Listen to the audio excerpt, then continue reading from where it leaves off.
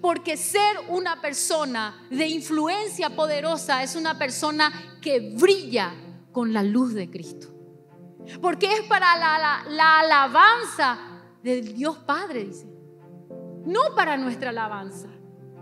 Hacer bien las cosas, dejar un buen testimonio, sobre todo es para glorificar a nuestro Dios. Todo lo que haga, todo lo que postee, todo lo que escriba en las redes, todas las obras, todo lo que vaya a decir a mis amigas, a mi pareja, a mis hijos, que sea para la gloria de Dios, para la gloria de Dios.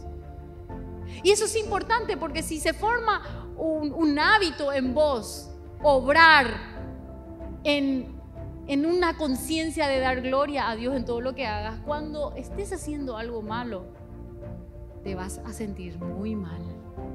Y vos podés decirme, ¿y para qué yo me tengo que sentir mal? Y porque mi querida, perdiste el rumbo. La única manera de entender que perdiste el rumbo es cuando tu conciencia te acusa y te dice, che, estás haciendo mal las cosas. Reiniciate, encontrate, estás perdida. Volvé a encontrarte en Cristo Jesús.